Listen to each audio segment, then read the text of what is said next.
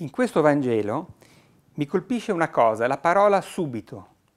Quando Gesù passa e vide i fratelli Simone, Pietro e Andrea, e, e lui li guardò, e loro erano pescatori, e gli, e gli dice venite, ed essi subito lasciarono le reti, lasciarono le reti.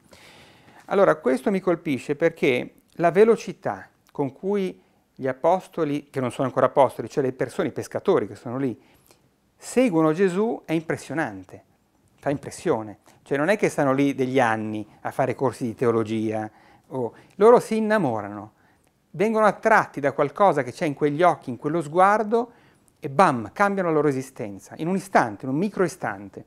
Allora la domanda per noi forse è, quante volte Gesù ci passa accanto mentre noi lavoriamo le nostre reti, facciamo i nostri lavori quotidiani e magari Dovremo subito andare con Lui, ma non andiamo dietro di Lui?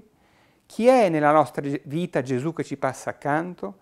Allora forse bisogna stare attenti ciascuno di noi alla realtà che ci sta intorno, delle persone che ci stanno intorno, degli incontri, dove veniamo richiamati da qualcosa che ci, ci dice di, eh, di, cambiare vita, di essere vivi, di rimanere vivi, perché il Signore dei cieli eh, non ci abbandona mai e, e, e nella realtà eh, ci, ci manda continui segnali, per esempio nei poveri.